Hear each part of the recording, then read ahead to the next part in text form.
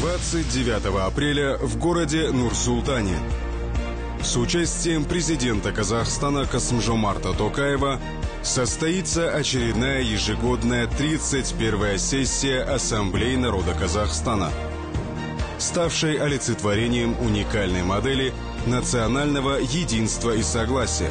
Повестка дня сессии ел Жанарган жаңарған Трега. тірегі –